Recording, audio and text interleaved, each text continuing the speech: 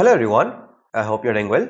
So in this video, we're going to discuss Geeks for Geeks problem of the day and today's problem is find kth smallest number in given n ranges and it is a medium level problem. So at the end of this video, if you feel that this video was helpful for you or if you were able to derive any value from this video, then don't forget to drop a like on this video and also do share your thoughts on this particular question in the comments or anything, any general thing you would like to share, you can uh, write it down in the comments because your engagement with this particular video really helps the YouTube algorithm to think that this video is actually good and it will be able to reach more number of people like you who want to solve new problems. So let us quickly start with the problem description. So this particular problem says that we have been given n ranges in the form of p and q which denotes all the numbers in the range p, p plus 1 and up to q right. So there will be all the numbers from the range p and q both included. Now we have been given some queries and in each query we will be given an integer. So we have to, if the integer is k, we have to find the kth smallest element for each query, right? So let me just uh, discuss these sample test cases and then it will be more clear to you. So here we have the first sample test case. Now they say that uh, the first range is from 1 to 4. So you will have 1, let me just draw number line, 2, 3, 4. So these are the first four elements of your uh, integer sequence. Now they have said the second range is 6 to 8. So 5 will not be in the range. The next element would be 6 and then you will have 7 and then you will have 8. Right. So the first query is 2. That means you have to find the second smallest number. So the second smallest number is this one. Right. So the answer for the first query is 2. Now you have to find the sixth smallest number. So this is 1, 2, 3, 4, 5 and 6. So the sixth smallest number is 7. Right. Now you have to find the 10th smallest number. But since uh, there are only 7 numbers in this particular sequence, you cannot uh, print out the 10th smallest number. That is why you have to print minus 1. Right. So basically, uh, you'll be given some ranges and you have to form a new sequence on the basis of those ranges and you will have to find the kth smallest number in each one. Now the queries are not very huge. There, there are like 10 to power 3 ranges and 500 queries. So you can answer all of them in n into q time, right? So uh, you can always uh, answer them in an q time. So for each of the queries, we can traverse the whole ranges array. But the question is, how do we actually solve it? And before this, uh, before the uh, solution discussion, I just wanted to share one more thing. That there can be some ranges like, for example, 1 to 5 and the second range is 3 to 7, right? So in that particular case, 1, 2, 3, 4, 5 are given by or contributed by this particular range. And this particular range will also contribute 3, 4, 5 right? These three these three numbers will also be contributed by this range. And the rest of the numbers 6 and 7 will also be contributed right? So the final number line would look something like this and you will have all the numbers from 1 to 7 right? This is something that you need to take care of. So how do we actually solve this question? Now a very uh, like basic idea would be to first sort the given ranges array according to the first element why only the first element? Because you don't want to miss any smaller point. For example if let's say in other case i sorted the whole ranges array according to the second element. And we have a case something like this. So let's say we have 9 and we have uh, let's say 20 but this was starting at 1 this was starting at 10 this was starting at 8 right? So if you sort according to the second element in this case you will miss out some starting elements right. So the way we'll be solving this question will be traversing the whole array linearly. Right. And in that in, in that particular implementation if we sort it like this we will we are going to miss out all the elements from 1 to 7 so it is always optimal to sort out the elements start uh, with respect to the first position so that we don't miss out any starting elements. Right. So once we have cleared out that we want to sort the whole ranges array according to the starting element now the problem becomes pretty straightforward and it's just an implementation problem. So how do you need to implement it so what you can do is for example you want to go to position q right? So if you want to go to position q your current position starting position will be this particular value. So if th this is 1 here that is why the starting position is 1 otherwise let's say this is a ranges array. At position 0 whichever element will be present its zeroth index since they are stored in uh, like uh, what do you say? Vectors of size 2 zeroth will be denoting the starting position right?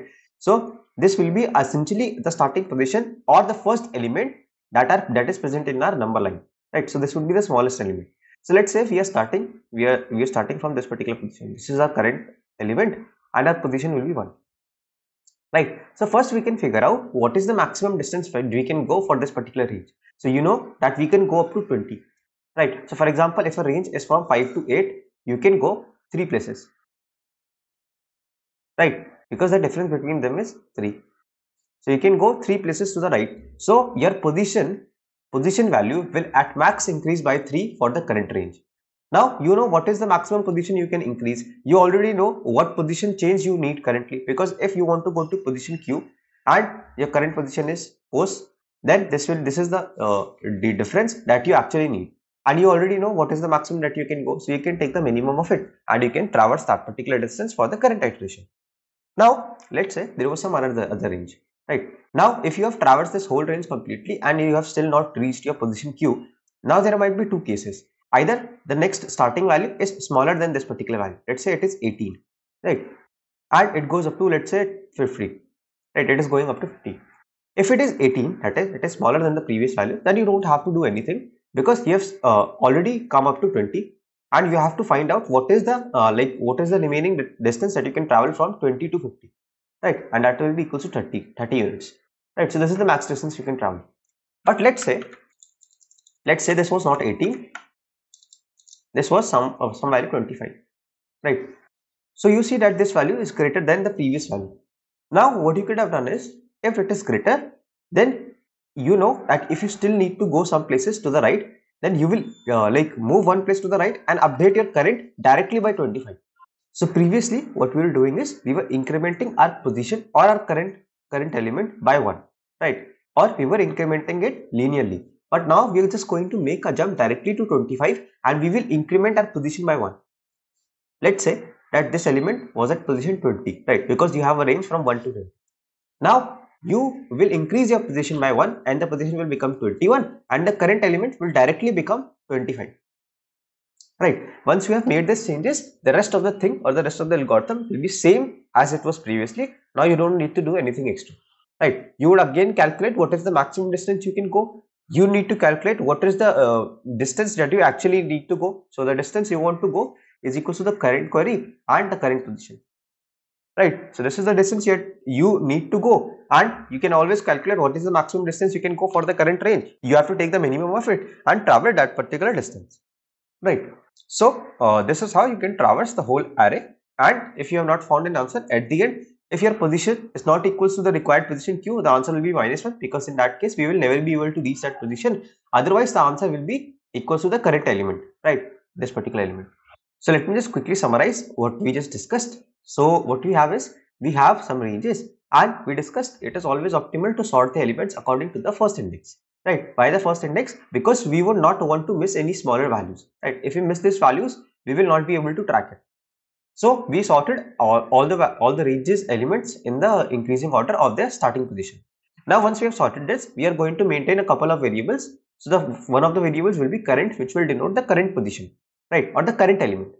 Post will denote the current uh, index. So for example, the first index, the second index, or the third index, meaning that this is this current element is the third smallest number, fourth smallest number, and so on, right. So position will be denoting the index of that element. So we want this particular position to be equal to our current query q. This is our goal, right? So we just first calculate for each of the ranges starting from zeroth range. So we are starting from zeroth range and we move on forward. We calculate for the current range what is the distance that I need to go. So that, that, that will be equals to q minus post, right? My current position. Now I also need to calculate what is the distance that I actually can go for my current range and that will be equals to let's say range of range of i1 this, this is the ending position and minus current. Current is my current position. So this is the maximum distance that I can go. I have to take the minimum of it and I, can, I have to travel that particular distance. Now let's say we have completed this range after this uh, this uh, these two things are executed that means we have completed our current range. So either position will be will become equal to q or it will be still less than q. So if it is less than q then we will moving on forward with the next range. Now if the next range if this particular range ends at 20 and the next range begins at 18 and goes up to 50. Now in this particular case, since we have already covered 18, 19, 20, we don't need to do anything. Our current element or our current position will already be 20. Right. So we can uh, find the distance from 20 to 50. We can find the distance what we need currently, right? Q minus post and we can take the value of it. So no problem here. We have to uh, do something extra only when the next element is greater than the previous element. right? In that particular case, you will have to increment your position by 1 and, and you will do this only when it is required, right? Only when there is some need to increment the position.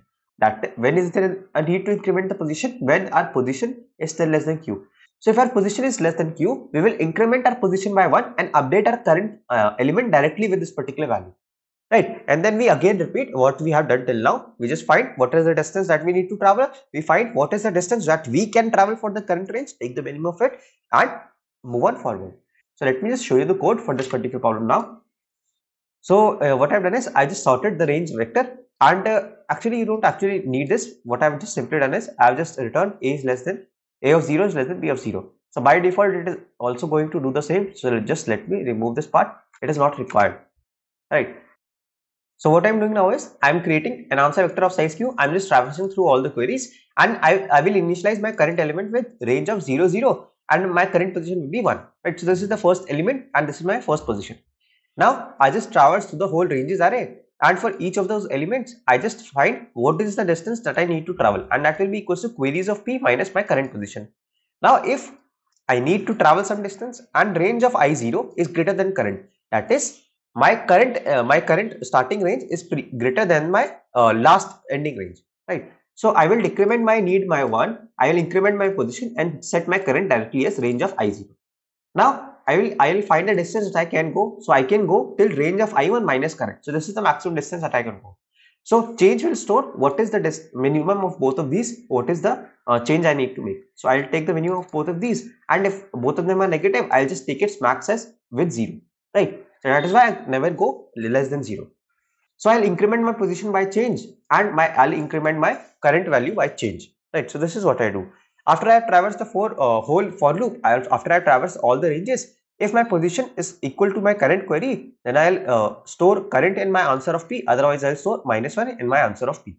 So this would be the solution for today's problem of the day and hope that you guys were able to understand the solution. If you guys did, then consider dropping a like on this video don't forget to subscribe to this channel because I see a lot of people who watch these videos have not subscribed yet. So if you're one of them, consider subscribing. Share this channel with your friends. Until the next video drops, keep coding, stay safe. Bye-bye.